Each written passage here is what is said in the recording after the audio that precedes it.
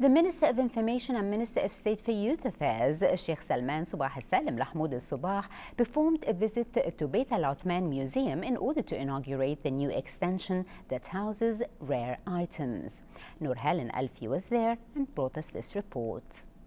The Minister of Information and the State Minister for Youth and Sports Affairs, Sheikh Salman Sabah Salim Al Hamoud Al Sabah, inaugurated the new extension established at Beit Al Osmani Museum during one of his usual visits to check the buildings. We had the new collections um, contributed from many uh, Kuwaitis who were uh, keen to uh, collect items from uh, more than 100 years to be displayed here in Beit Al Uthman and to show uh, all generations about the fathers and grandfathers.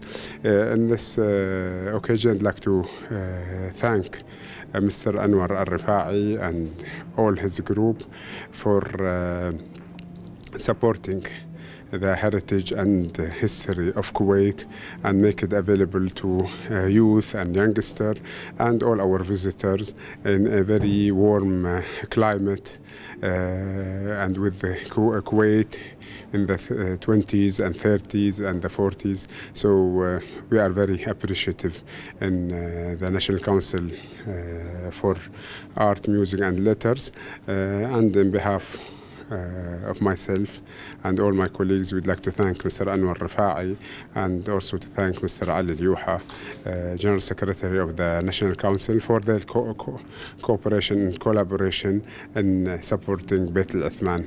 Uh, and I'd like to uh, call all our uh, guests and visitors to come and visit Beit Al Uthman and see the new collections here. The new extension at Beit Al Osman included new museums such as Dr. Yaqub Al Haji's Museum of Rare Kuwaiti Transcripts, as well as Ismail Bahbahani's Museum of Historic Artifacts, as 10,000 of them are dating back to one century ago of Kuwait's history. In addition, the new extension also includes a museum by the Public Authority of Youth and Sports, which groups a number of items belonging to the golden era of Kuwaiti football in the 17th and 18th. Al Uthman Museum that this building since 1947 he's uh, built with uh, Mr. Abdullah Al Uthman. Uh, this house, uh, this is the life of the Kuwait, you can find it in it. Today uh, we uh, start to open the new uh, section in uh, Al Uthman Museum that one to talking about uh, Dr. Yaqub Al Haji and uh, Mr. Ismail Bahbahani and the football in Kuwait for everything we have it uh, before uh, in Kuwait. You know, uh, today uh, we take a look inside this uh, museum. Uh, we try to open this after two months from now for everybody, and we say welcome to your visit today. Meanwhile, during Sheikh Salman's visit to Beit Al Osman, he said that the Kuwaiti heritage and historic artifacts should be preserved and displayed in museums for future generations to view.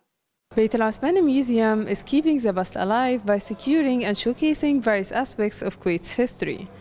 Anyone should enjoy the journey inside Beit Al because while visiting every single room, they would not be able to figure out what they are going to see next.